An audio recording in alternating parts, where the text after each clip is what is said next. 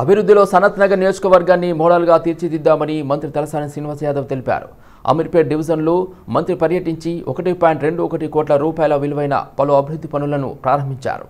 అనంతరం ఆయా ప్రాంతాలలో స్థానిక ప్రజలను సమస్యలపై మంత్రి అడిగి తెలుసుకున్నారు. పలు సమస్యలను మంత్రి దృష్టికి తీసుకురాగా పరిష్కారానికి అవసరమైన చర్యలను వెంటనే తీసుకోవాలని సంబంధిత అధికారులను ఆదేశించారు. యాభై అరవై సంవత్సరాల నుంచి జరగని అభివృద్ధి గడిచిన తొమ్మిది సంవత్సరాల్లో చేపట్టి ప్రజలు ఎదుర్కొంటున్న అనేక దీర్ఘకాలిక సమస్యలను పరిష్కరించినట్లు మంత్రి చెప్పారు. ప్రధానంగా రోడ్ల అభివృద్ధి అనేక ప్రాంతాలలో డ్రైనేజీ వాటర్ లైన్ల ఏర్పాటు అవసరమైన ప్రాంతాలలో పైప్ లైన్ సామర్థ్యం పెంచడం పునరుద్ధరించడం వంటి పనులను కూడా చేపట్టిన విషయాన్ని గుర్తు చేశారు.